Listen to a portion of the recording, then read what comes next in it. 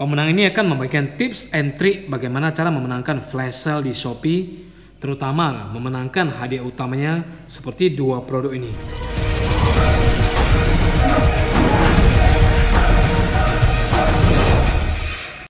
Pastikan kamu sudah subscribe channel Gadit guys dan nyalakan loncengnya ya. Hello guys, welcome to Gadit channel. Di video kali ini kita akan bagian tips and trick bagaimana cara memenangkan flash sale di Shopee terutama untuk memenangkan hadiah besarnya atau hadiah utamanya. Kita bisa menggunakan tips and trick ini untuk event Shopee berikutnya. Mungkin di event 11 atau event 22 nantinya. Dan pemenang yang kita masukkan ke dalam channel guide ini adalah pemenang yang menggunakan handphone Xiaomi Redmi 5 untuk bermain dan memenangkan flash tersebut dan dia termasuk kategori tim kentang tidak menggunakan bot guys jadi pemenang ini spesial kita undang dan kita wawancara untuk memberikan tips and triknya dan dia bersedia memberikan semuanya pada kalian bahkan dia sempat chat saya saat dia bermain flash sale dan memenangkan flash sale di jam 1 siang tersebut pertanyaan pertama pasti adalah tentang device yang digunakan saat bermain flash sale dan betapa terkejutnya kalian jika tahu dia hanya gunakan handphone Xiaomi Redmi 5 Plus. Yang di mana kalau kita lihat ya, kebanyakan orang tuh menggunakan handphone super mewah pun tidak bisa dapatin namanya barang-barang flash sale. Jadi kalian para para tim kentang atau pendukung tim kentang jangan bersedih dan jangan gunakan jasa bot jika tidak perlu karena ternyata cara manual juga bisa memenangkan flash sale tersebut asal tahu tips and triknya. Pertanyaan kedua adalah tentang pastinya kualitas dari pemenang ini. Kenapa kita masukkan ke dalam channel Get It? Karena dia sudah beberapa kali, bahkan sudah banyak ya, memenangkan flash sale yang ada di Shopee. Kalian bisa lihat screen recording di sebelah kiri ini, menandakan bahwasanya dia memang adalah pemburu flash sale dan dia bisa memenangkan namanya banyak barang tersebut dengan handphone Xiaomi Redmi 5 tersebut. Untuk pertanyaan ketiga adalah, saya paling sering bertanya kepada semua orang yang memenangkan flash sale, barang apa yang paling mahal dimenangkan oleh mereka? Ternyata guys, laptop yang dia menangkan yaitu laptop Dell di jam 12 malam di tanggal 12 Desember itu adalah yang paling mahal. Itu termasuk hadiah atau barang kedua ya setelah iPhone 11 Pro. Jadi dia berhasil dapatin barang tersebut dan sangat luar biasa sekali.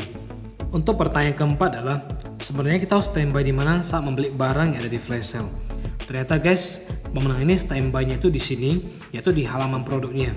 Sebenarnya kalau kita cek di halaman chat juga bisa ya, tapi kalian bisa pilih salah satu aja intinya kan sama klik katanya itu di detik ke 59 dan kalian tidak perlu refresh oke sejauh ini memang tidak ada trik yang menjelaskan mesti merefresh karena ketika masuk ke troli harga sudah jadi promo nah tapi timing kalian mengklik itu atau mencet itu harus pas karena kalau tidak pas ya sama aja kan sebenarnya saya meminta dia merecord tetapi katanya memang untuk merecord sangat susah sekali karena programnya jadi berat nah kita akan bahas di pertanyaan berikutnya untuk pertanyaan kita sambung guys masalah standby tadi jika produk tersebut disimpan untuk flash sale dan tidak bisa dibeli, kalian bisa menggunakan cara namanya memasukkan ke dalam favorit.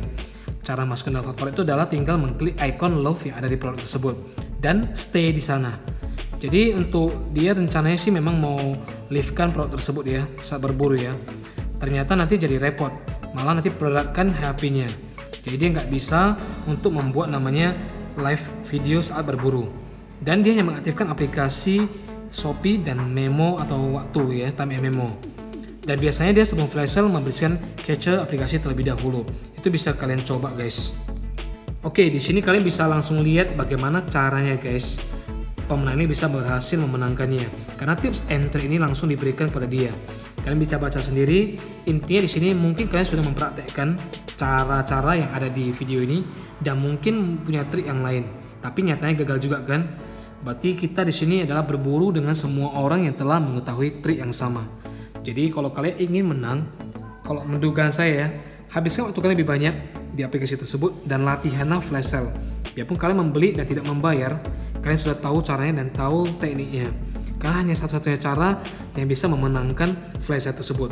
Ingat, latihan membuat kita sempurna. Jika ada yang ingin kalian tambahkan yang ada di video ini, tulis di kolom komentar guys ya.